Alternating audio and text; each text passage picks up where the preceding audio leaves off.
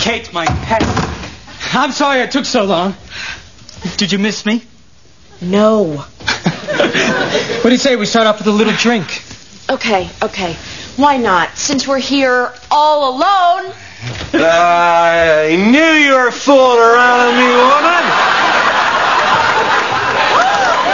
Oh no! Clark! My obsessively jealous boyfriend! That's right, and I'm mighty angry.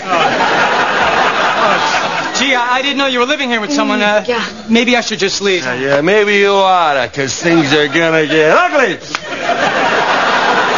a minute, I can't leave you with this guy. He's dangerous. No, he- he's not dangerous. He's just stupid. You can go. I'm fine. Stupid? Stupid? Somebody calls me stupid! Hey, what the hell's going on here? Uncle Billy! Thank God you're here!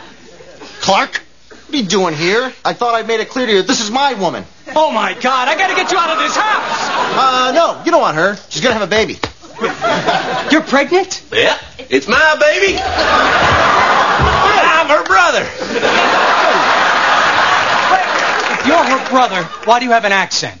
Uh, cause I was born on vacation.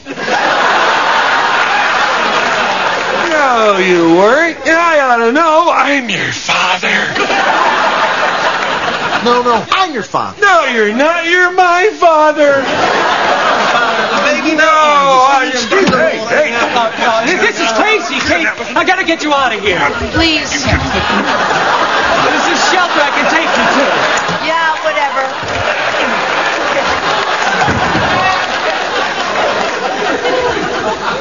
So ends another evening of Trailer Park Dinner Theater. Join us tomorrow when we'll present Tennessee Williams' A Truck Stop Named Desire.